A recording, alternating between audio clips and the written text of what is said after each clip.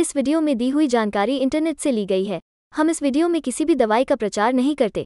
किसी भी दवाई को इस्तेमाल करने से पहले एक बार डॉक्टर से ज़रूर सलाह लें। अगर आप इस वीडियो को देखकर किसी दवा का उपयोग करते हैं और आपको कोई साइड इफ़ेक्ट होता है तो उसमें हमारी कोई ज़िम्मेदारी नहीं होगी। मायोपैट प्लस टैबलेट दवाओं का मिश्रण है जो मांसपेशियों के दर्द से राहत दिलाने में मदद करता है।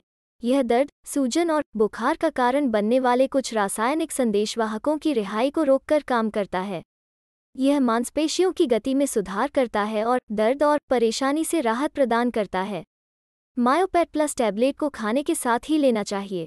यह आपको पेट खराब होने से बचाएगा। खुराक और अवधि आपकी स्थिति की गंभीरता पर निर्भर करेगी।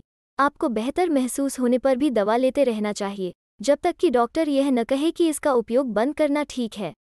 इस दवा का उपयोग करने से कुछ सामान्य दुष्प्रभाव हो सकते हैं, जैसे मतली, उल्टी, नाराज़गी, पेट दर्द, दस्त भूख न लगना और मुँह में सूखापन। यदि इनमें से कोई भी दुष्प्रभाव समय के साथ हल नहीं होता है या बदतर हो जाता है तो आपको अपने डॉक्टर को बताना चाहिए। आपका डॉक्टर साइड इफ़ेक्ट को रोकने या कम करने के तरीके सुझा सकता है। सामान्य तौर पर, आपको अपने लक्षणों को नियंत्रित करने के लिए आवश्यक न्यूनतम राशि का उपयोग करने का प्रयास करना चाहिए। दवा का उपयोग करने से पहले, आपको अपने डॉक्टर को बताना चाहिए कि क्या आपको कोई अन्य चिकित्सीय स्थिति या विकार है। यह सुनिश्चित करने के लिए कि यह सुरक्षित है। आपको अपने डॉक्टर को उन सभी अन्य दवाओं के बारे में बताना चाहिए जो आप ले रहे हैं।